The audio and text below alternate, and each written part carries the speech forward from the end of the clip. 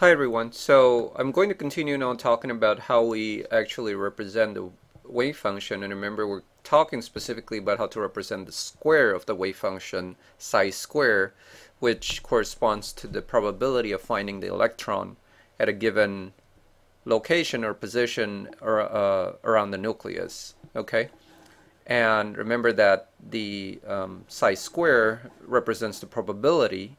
So as a result we have to visualize or represent this probability and the first way to represent the probability is to use this dot density or electron dot density right?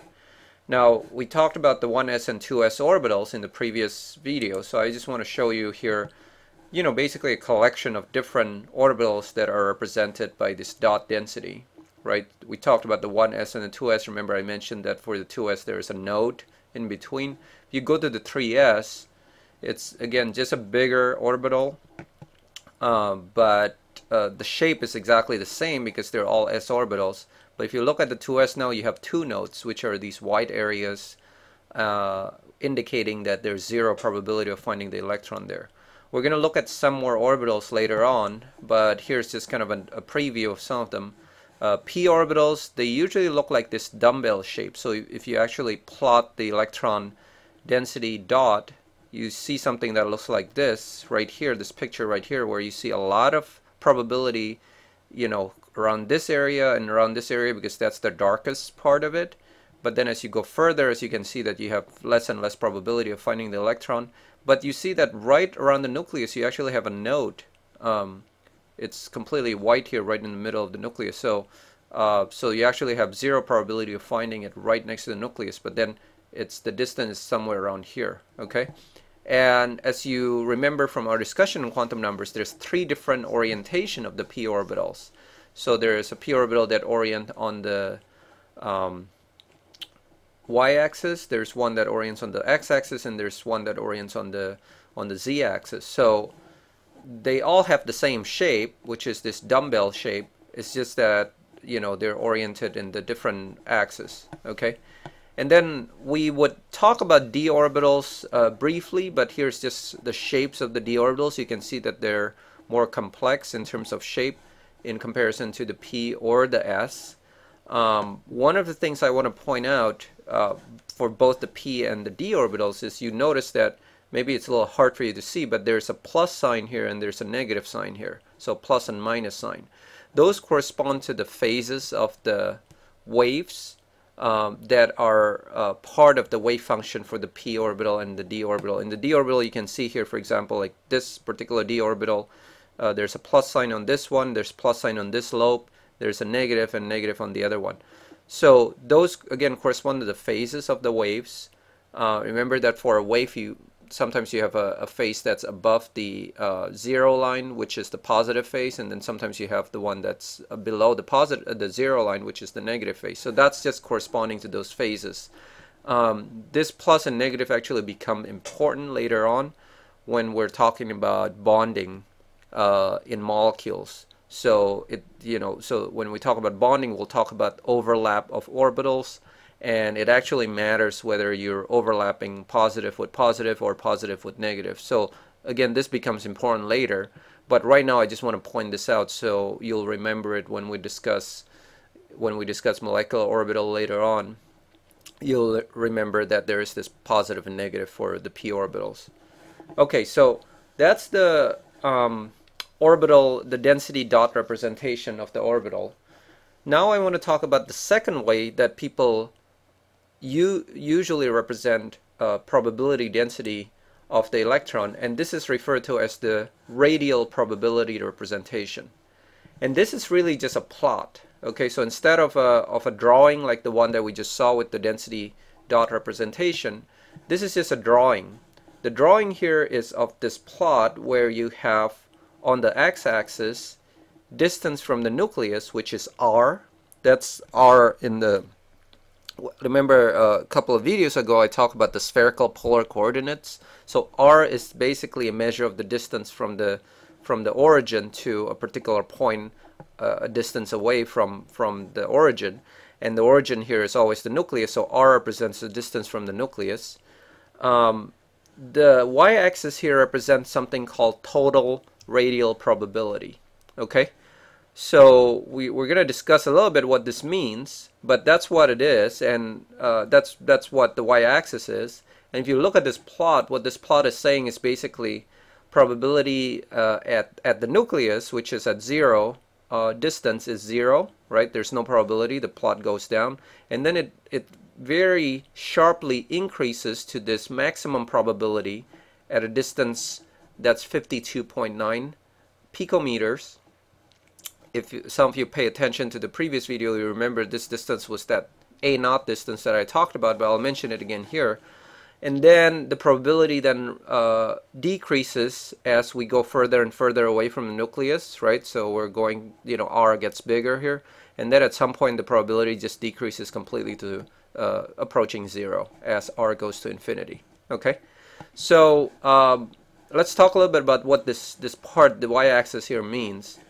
So the radial probability value, this total radial probability, you can get that number by multiplying psi square. Remember that psi square is the probability itself with a spherical shell volume element. And what that means is that if you imagine you're standing on a point here in the nucleus okay so let's say I'm, I'm here at the at the uh, nucleus and I go a certain distance away certain distance r away okay so let's say I go to this point right here and I say what is my probability of finding the electron at this position?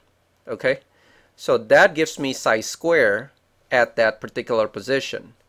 But the radial probability is if I were to add all the probability of finding the electron around a spherical shell from that same distance. So in other words, I would cut this, I would cut this, um, uh, I would cut this orbital, okay, a certain distance r away, and I would add the all the probability of finding the electron from each r position, okay, from the same r distance. When I add all of those together, then I get my total radial probability. Okay.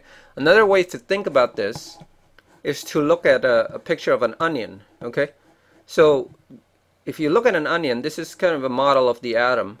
Right in the middle is my nucleus, right? And you notice that if I go a certain distance away, let's say I go a distance r away, okay, which is this distance right here, I can calculate the probability, which is the psi square at that particular r value the total radial probability is not just the r, the psi square value at that r, but it's adding this particular shell. So if you follow my mouse here, I'm going around at that same r value, okay, and I'm adding all the probability that I calculated together.